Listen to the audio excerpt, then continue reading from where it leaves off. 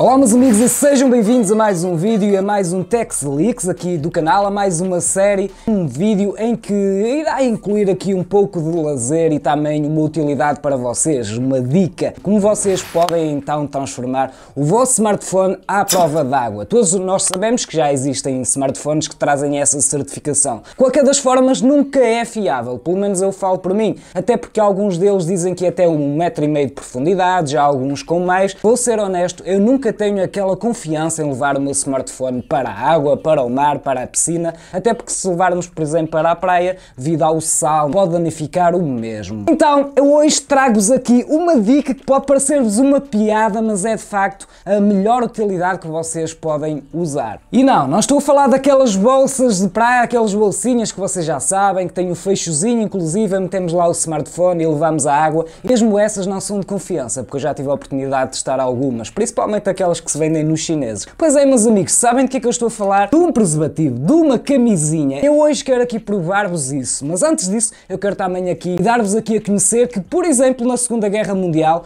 os soldados usavam camisinhas para manter o cano das suas armas limpas e secas. Para quem foi militar, o meu caso, nós sabíamos totalmente que quando andávamos à chuva, depois os canos das armas ficavam cheios de ferrugem. E depois, o que é que acontecia? No final, à noite, lá tínhamos nós que andar a olear as armas, armas e a deixá-las todas limpinhas. Inclusive, na Guerra do Golfo, mais de 500 mil preservativos, camisinhas foram junto com eles para o campo de batalhas. Portanto, isso já tinha nessa altura alguma utilidade devido à água, à umidade. Imaginem o quanto vos irá ser útil também agora. Esta será sem dúvida a melhor opção e vai-vos proteger da água e até da areia, além de permitir, obviamente, que a intenção também será um pouco essa, tirar e captar fotos debaixo d'água. Mas eu quero aqui hoje mostrar-vos isso. Eu trouxe aqui então um pote, ok? Um pote cheio de água.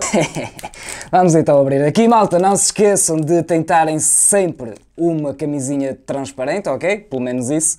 E vamos então agora aqui fazer o teste, aqui com o meu smartphone. Ei lá, isto aqui, será que ele não se vai romper? Tenham cuidado também à capacidade da camisinha, não é? Para ser uh, mais forte. Olhem, aqui a câmera, a minha câmera já me está aqui a, a fazer uma asneira. Muito bem, já está aqui colocado no meu smartphone. Depois, obviamente, vocês têm que dar aqui um nó, o nó cego, não é? Para não entrar água, é óbvio. Pronto, meus amigos, aqui está o meu smartphone e o nosso preservativo, a nossa camisinha. E agora sim, vamos fazer aqui o teste. Já estou a utilizar também a câmera. Estão a ver aqui? Dá para utilizá-la. Vou inclusive colocar aqui algo aqui dentro. Pronto, vamos colocá-lo dentro d'água e vamos rezar, ok?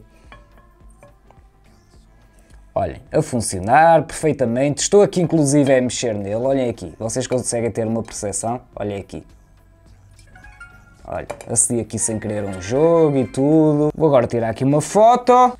E pronto, meus amigos, aqui está a foto, vocês não conseguem ver muito bem porque está obviamente aqui com a camisinha, não é? Qualquer das formas vocês vejam que funciona perfeitamente, está a foto captada e vamos agora aqui romper o preservativo para ver se entrou ou não água, que eu já estou a ver que não entrou, malta, está bem? Vamos aqui retirar, vou então agora aqui romper. Claro que eu agora estou com as mãos molhadas, vocês vão ver eu a molhar o smartphone, mas eu vou tentar não molhar pelo menos aqui esta parte superior para vocês verem que ele está sequinho, ok malta? Olhem aqui, sequíssimo, Aqui em cima estão a ver sem água, só está molhado aqui porque eu estou a agarrar aqui. Malta, é isto! É uma brincadeira, mas uma brincadeira vos irá certamente dar muita utilidade. Peço que vocês deixem nos comentários, vocês já conheciam este método caseiro aqui para utilizarem o smartphone debaixo d'água? Muito obrigado a todos vocês que assistiram a mais um vídeo e já sabem, o meu nome é Ricardo, este é o canal Ricardo Tex, esta foi mais uma dica e vemos como sempre no próximo vídeo. Um grande abraço, fui e tchau tchau. E agora vejam lá no que é que vão utilizar as camisinhas, depois vejam lá o que é que andam a fazer.